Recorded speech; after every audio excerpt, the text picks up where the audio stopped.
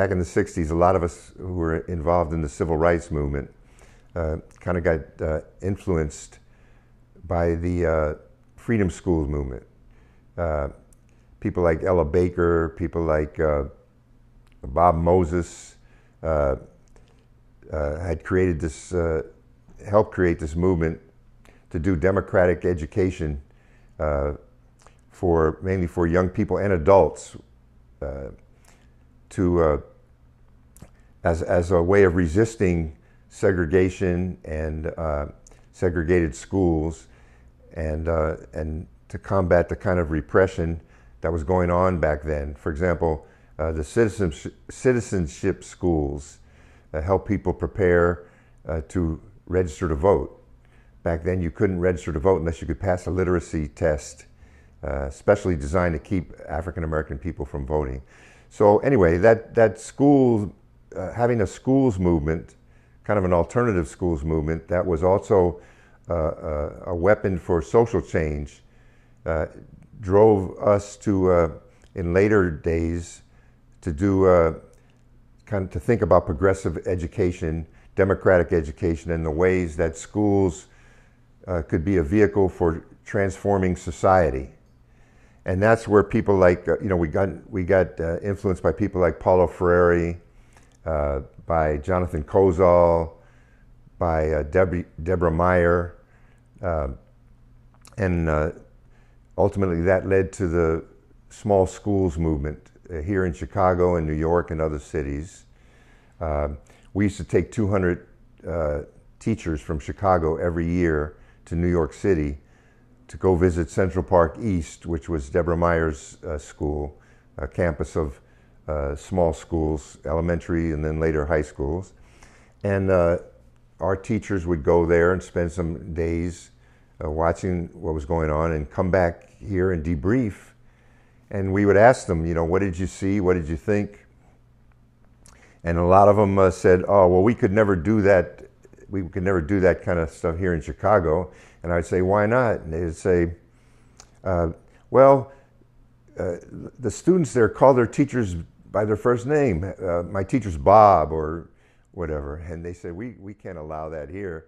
But I'd say, okay, forget about that for a minute. What did you like? And they said, well, we liked the, uh, the fact that the schools were safe, where uh, the kids were engaged, uh, they, were, they were actively engaged in their own learning and uh, uh, there was a lot of creativity and things like that. So we say, well, why don't we try doing that here? And then uh, ultimately that led to the building of the uh, small schools movement here in Chicago, which spread like wildfire, really. And then uh, we kind of connected with uh, Debbie and those people, and small schools actually became kind of the flavor of the month for a while, for more than a month. And of course, the uh, the ending wasn't too happy. Uh, the the schools kind of got taken over by the charter school movement and and uh, privatization. And uh, so my wife Susan and I wrote a book about that called Small Schools. Uh, uh, school reform meets the ownership society. and anyway, through that experience, I began. I became very much influenced by uh, democratic educators and began uh, trying to understand uh, how schools could be a vehicle for social change.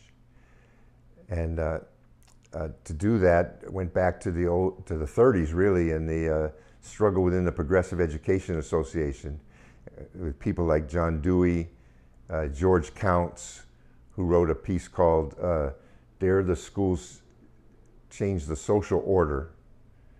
and that created a huge debate. You know, in other words, whether schools should just be about uh, progressive schools should just be about the development of the child, kind of like a, uh, as a flower being watered by educators, or whether schools should be a, a vehicle, a tool, uh, uh, a road to changing the whole society.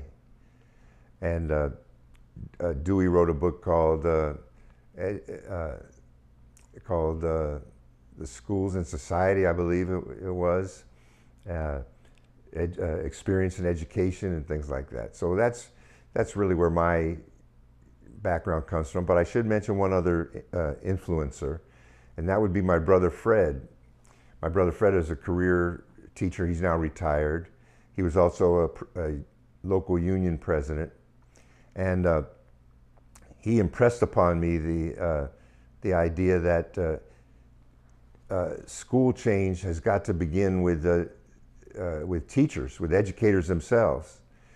And uh, he was very critical of some of the school reformers who never taught, and, uh, but had big ideas about school change uh, that were uh, totally separate and in, contradiction with the experiences of teachers and students and people closest to, uh, you might say, the point of production or the, the point of education.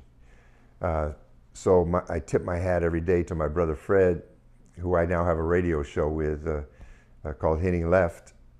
And uh, together we, we interview uh, education people and teachers and students to try to solve the problem of social change and schooling and you know where the confluence of those two things come into play.